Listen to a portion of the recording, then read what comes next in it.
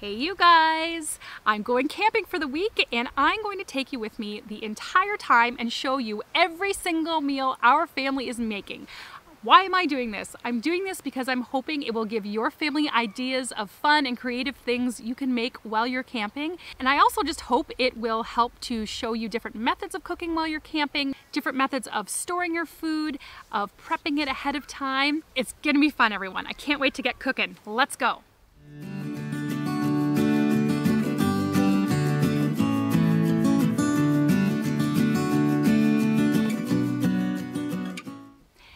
Everybody, my name is Jenn. If you've never been to the channel before, welcome. It is so good to see you. I'm so glad you're watching. As I already mentioned, this week I am going to be taking you camping with me, taking you camp cooking with me, and it's gonna be a lot of fun.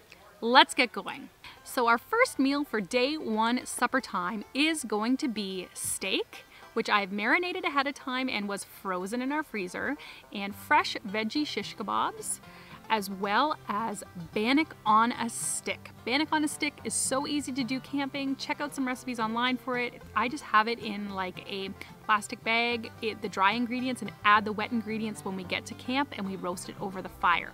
For dessert, we're having something called shmallows, which my in-laws invented, or they say they invented it anyway. It's just a humongous jumbo marshmallow that you roast and you fill with berries and whipped cream. Yes, it is as delicious as it sounds.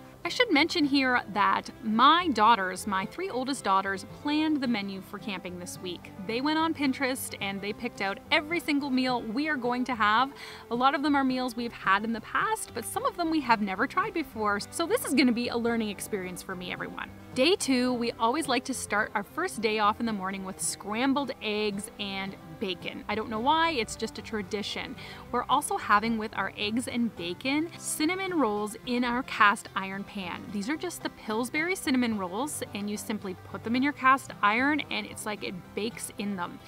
They're so delicious. Oh, I just, I cannot say enough. Probably cinnamon rolls would have been enough for breakfast without the bacon and eggs, but we're living large this morning. We're gonna have some OJ on the side with this. For lunch, this is a hack we found on Pinterest years ago, and basically you take individual Dorito bags and then you chop up all the fixings for toppings for taco salads. So ahead of time, I made seasoned ground beef, which we just heated up, and add to that your cheese, lettuce, tomatoes, onions, peppers, salsa, sour cream, and each person just puts however many toppings they want in and they simply stir it up with a fork and you can eat it directly from the bag. Very minimal dishes involved. I love it and my kids love it too. And I brought along some homemade canned peaches from home. These are actually last year's peaches. We're nearing the end of our stock right now of canned goods. Peach canning season's coming up in a few weeks actually, but um, it's just nice to have a taste from home and it's something easy for me to pack along as a dessert. For supper tonight, oftentimes at supper, we do a potluck with all of our family. So the dishes we're contributing to our extended family potluck at camping are pigs in a blanket. So you're just gonna roast a hot dog on a stick and take your Pillsbury crescent rolls and wrap them around the outside. Oh, hello, chipmunk. Super simple, super delicious. Bring yourself a bottle of mustard and ketchup to dip them in and you're good to go. We're also making quesadillas, chicken quesadillas in our cast iron pans. So in those chicken quesadillas, we will have chicken, cheese, peppers, onions, and we are going to dip them in salsa and sour cream. And have you ever made popcorn over the fire? You can get a popcorn popper. This one's from Canadian Tire. You can basically get one at any camping store or hardware store, and uh, it's really fun just to pop your oil and kernels in there and make them over the fire and enjoy with all your family. It's just something really fun. You want to make sure the kids definitely stay back because it is super hot. but it's just something fun to try out. We also brought along like our cheddar cheese seasonings so that we could season all the popcorn we were eating. Day three, for breakfast today, we are having egg and cheese McMuffins. I guess they're not technically McMuffins because they're not from McDonald's, but it's the same idea. This is something really easy to cook while camping. If you don't want to toast everything separately, cook everything separately, I've also heard that people cook the eggs and put their toppings on and everything cold. So they might have cooked their eggs at home ahead of time and formulated their breakfast sandwich at home and wrapped it in tinfoil and then just warm it or bake it over the fire. So you can do it that way, or you can just assemble it and freshly make it like we are today. And we're gonna have some juice with this as well, apple juice. We don't normally drink juice actually at home. We normally have only water or milk. So juice is something that my kids associate with camping or Christmas morning actually. It's just a funny little quirk about our family, but but it's a way that we reduce our sugar intake. Um, so anyway, my kids are the type that get excited over apple juice. For lunch, we're doing chili cheese dogs. So I actually prepped this chili at home ahead of time and froze it in gallon bags.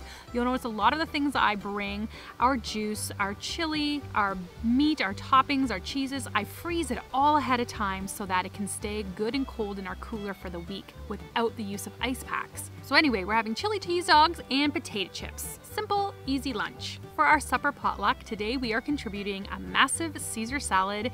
It's super easy just to bring a bag of lettuce and all the toppings to go with that, as well as campfire nachos. Have you ever made nachos in a cast iron pan, you guys? If you haven't, you should, and do it over the fire. I'm not sure what it is about this process, but it's like magic. They taste so much better than nachos at home that you do in the oven or in the microwave. Um, there's just something about campfire nachos that cannot be explained. You must try it to believe it. So if you haven't done it, try it out, everyone. Day four breakfast is the most requested breakfast that my kids have when we go camping, which is sausage, gravy, and biscuits. This sounds funny. This is definitely more so a southern US dish. We don't eat sausage gravy that much in Canada, but it's something we've had when we've been traveling and my kids really do enjoy it. So again, I make the sausage gravy ahead of time. I definitely put some kick and spice into it and I freeze it at home in a gallon bag. And we made the biscuits ahead of time. My daughter made these biscuits at home and froze them. And we just simply heat up the gravy and put it over biscuits for breakfast. we're gonna have applesauce as our dessert for breakfast time. And this is our last meal camping, everyone. Usually on our last day, we clean up, we pack up our campsite, and most campsites in Ontario, you have to be out of there by 11 a.m. So we're going to do something special for lunch, which is we're gonna go to a restaurant. If you know my kids or ask them, you will know that this is a rare occurrence. We're such a big family. I have six children, there's eight of us. So we save that eating out meal for the very last meal of camping when mom is tired of cooking, when we are all exhausted, and it's just a really good way to celebrate and enjoy the end of our camping trip. I hope you've enjoyed coming along as I cook during this video, and I hope it gave you some ideas for how to elevate your own camping vacations into something really special for your family. Now it's your turn. Let us know in the comments below what your family's absolute favorite camping meals are. I want to know because I truly want to try them out. And as always, don't forget to give this video a massive thumbs up, as well as subscribe to the channel if you haven't already. Can't wait to see you all in the next video. For the least, this is Jenn.